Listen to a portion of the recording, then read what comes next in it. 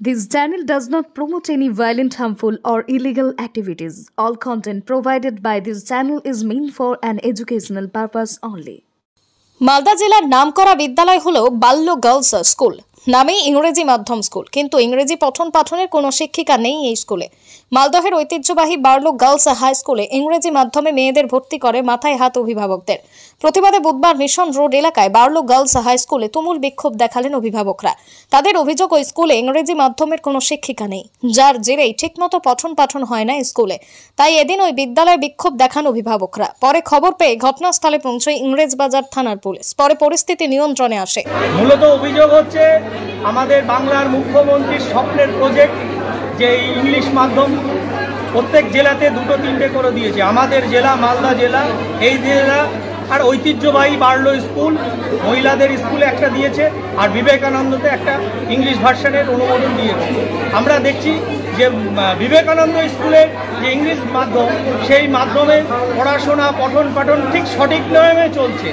কিন্তু বিগত চার বছর ধরে খেলা গুজা দিয়ে চলার ফলেও আমরা কিছু বিরক্ত করিনি। কিন্তু এই চা- ছ মাস ধরে দেখছি আমাদের এই পঠন পাঠনকে, ইংরেজি মাধ্যমের পঠন পাঠনকে উঠিয়ে দেওয়ার জন্য স্কুল কর্তৃপক্ষ একটা ভীষণভাবে চক্রান্ত করছে। যাতে এখান থেকে সমস্ত অভিভাবকরা বাচ্চাদেরকে নিয়ে বাংলা মিডিয়ামে কোথাও চলে যায়। সেই কারণে আজকে আমরা দীর্ঘদিন ধরে এসআই ম্যাডামের সাথে মিটিং করেছি, ডিআইকে আমাদের লিখিত আকারে ডেপুটেশন দিয়েছি। আজকে বাধ্যতামূলকভাবে আমরা স্কুলে এসে সমস্ত অভিভাবকরা বা হেডমিস্ট্রেসকে ঘেরাও করেছি। যে আপনি যদি অবিলম্বে আমাদের বাচ্চাদের ইংলিশ ভার্সনের যদি ক্লাস সচল না করেন, তাহলে আমরা আপনাকে এখানেই আমরা গণ অবস্থান করব। বাচ্চাদেরকে নিয়ে বাংলার সাথে মার্চ করে দেওয়া হচ্ছে। বাচ্চাদেরকে ক্লাসরুমে ঢুকে বলা হচ্ছে, তোমরা এখান থেকে চলে যাও। বাথরুমের অব্যবস্থা এত বড় একটা ঐতিহ্যশালী ঐতিহ্যশালী স্কুল সেখানে মেয়েদের বাথরুমের জলের ব্যবস্থা নেই, পানীয় জলের ব্যবস্থা নেই। এত পয়সা আসে স্কুলে সুস্থভাবে তা পরিকল্পনা হয় কিনা জানি না। শিক্ষিকা নেই, সেই কারণে আমরা অভিভাবকরা স্কুলেরই প্রাক্তন, আমাদের ঘরের মেয়ে তাদেরকে দিয়ে আমরা ভলেন্টিয়ার স্বেচ্ছায় শ্রমদান করার জন্য অনুমতি চাইছি। যে তিন চারটা শিক্ষিকার যে অভাব বলছেন আমরা আমাদের ঘর থেকে ভলেন্টিয়ার সার্ভিস দিচ্ছি। এই অনুমোদন আজকে হেডমিস্ট্রেসকে দিতে হবে নাহলে আমরা এখানে কোনো শিক্ষিকারা কি আসলে আমাদের দু হাজার সতেরোতে ইংলিশ মিডিয়াম খুলেছে। আঠেরো থেকে স্টার্ট হয়েছে। এবার ধরুন ফাইভ থেকে শুরু হলো তখন আমাদের পড়াতে অসুবিধে হয়নি। কারণ একটাই ক্লাস চল্লিশ জন স্টুডেন্ট আস্তে আস্তে যত ক্লাস বাড়ছে, এখন নাইনে পড়ছে, প্রথম ব্যাচটা ফলে আমাদের কী হচ্ছে, আমাদের বাংলা মিডিয়ামের টিচারের সংখ্যা কম। মানে এখনও পুরোটা আমাদের কিছু ফুলফিল হয়নি ভ্যাকান্সি এবার আমাদের ইংলিশ মিডিয়ামের জন্য আলাদা পাঁচটা সেকশন সব কিছুই আলাদা। এবার সেখানে স্টুডেন্ট বা টিচারদেরকে পাঠানোর ক্ষেত্রে দেখা যাচ্ছে, অনেক সময় যারা বাংলা মিডিয়ামে টিচাররা পড়ে এসেছেন, তারা স্বচ্ছন্দ বোধ করছেন না পড়াতে। আবার কেউ কেউ ভালো মতোই পড়াচ্ছে। এবার সেই ক্ষেত্রে আমরা অনেক সময় করেছি, ওনারা একটা দাবি করছেন যে মানে দাবি মানে ওনারা অভিযোগ জানাচ্ছেন যে আমরা নাকি বাংলা মিডিয়ামে বসে ক্লাস করেছি। এবার ধরুন যেদিন আমাদের স্কুলে বারো জন, তেরো জন টিচার কোনো কারণে আসতে পারেননি, সেদিন তো বাচ্চাগুলোকে বসিয়ে রাখা যায় না। সেই দিনটা হয়তো বাংলা মিডিয়ামের কোনো একটা ক্লাসে ওরা হয়তো পাঁচ ছজন এসেছে। তাদেরকে দিয়ে যেহেতু ওদের মাতৃভাষা বাংলা, ওরা তো বাংলাটা বুঝতে পারে। তখন ব্যাপারটা বোঝানোর চেষ্টা করা হয়েছে। এখন ওনারা বলছেন, এতে ওনাদের বাচ্চারা নাকি মানসিক একটা প্রবলেম হয়েছে। হতে পারে যে বাংলা মিডিয়াম থেকে। তো আমরাও তো বাধ্য হয়ে করছি। আর আমাদের ইংলিশ মিডিয়ামের জন্য এখনও পর্যন্ত কোনো টিচার রিক্রুট হয়নি।